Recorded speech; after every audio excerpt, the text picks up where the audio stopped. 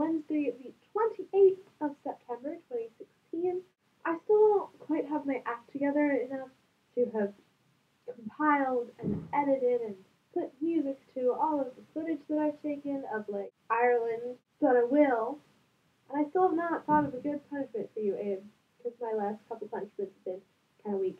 But I will. Today I want to talk to you about This Call by Peter O'Guilin, I think is how you pronounce his name. This book is a new YA release. It's set in Ireland in um, as most of the story happens in the Republic of Ireland, but the girl, the main character, is from Northern Ireland. In a horrifying future in which Ireland has been isolated from the rest of the world by these, this group of fairies who are punishing them for having taken over the land of Ireland hundreds and hundreds of years ago by taking each child once they're a teenager and they have to survive a full day in the world of the fairies where fairies are trying to kill them.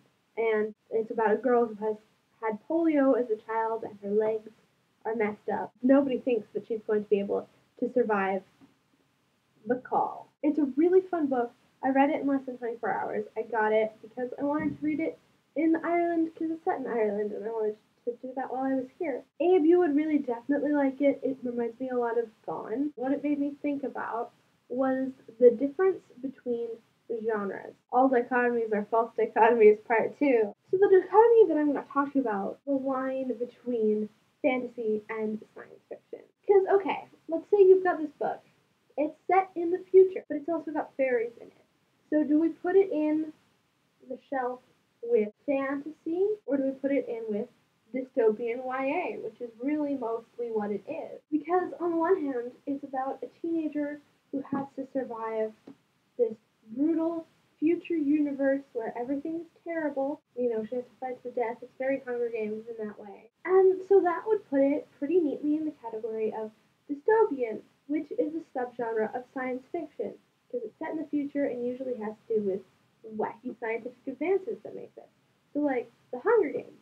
The Hunger Games is undeniably science fiction because it is set in the future and has wacky genetic mutations. But on the other hand, it has a lot more in common with things like Harry Potter, things in which magic is revealed to be real, things that are undeniably young adult fantasy. Arbitrary categories like science fiction and fantasy. What nonsense! When it's so much easier just to call it speculative fiction. Speculative fiction is effectively any stories that speculate about something, have something that is not currently real. And that thing that they're speculating about can be science based.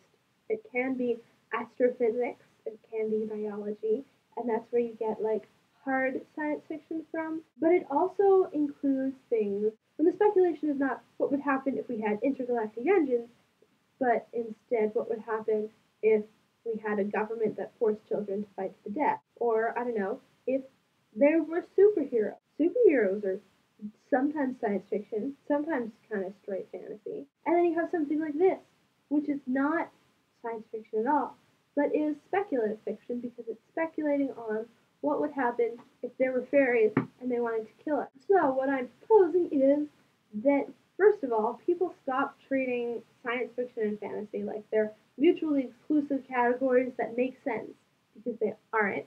And also that we start using speculative fiction more in our day to day discussion because it's just easier. It's better. That's all I got for you today, and see you on